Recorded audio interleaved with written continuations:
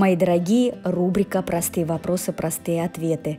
На этот раз ответ на вопрос оказался не таким уж и простым для моих зрителей. Напомню, я выпустил недавно пост, где и прозвучал вопрос, что бы это могло быть. У моей новой роскошной плющелистной пеларгонии я обнаружила странное образование на нижней стороне листьев.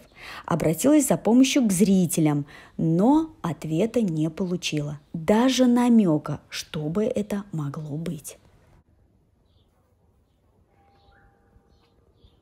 Решила разобраться сама, и каково же было мое удивление, когда я узнала, что вот эти выпуклые, жесткие на ощупь образования называют водянкой листьев у растений – и это не грибковое и не вирусное заболевание. Я спешу всех успокоить, кто сталкивался тоже с этой проблемой и не нашел ответа на этот вопрос. А простое, самое простое банальное переувлажнение растения вследствие избытка влаги в почве –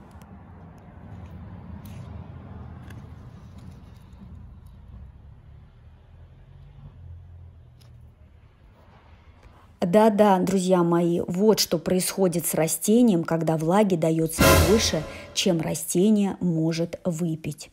Чаще всего это еще происходит и при недостатке света параллельно.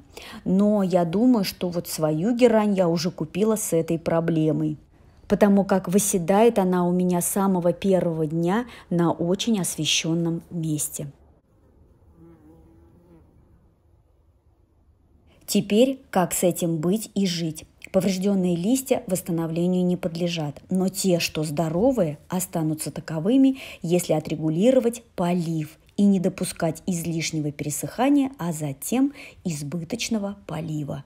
Вот и все.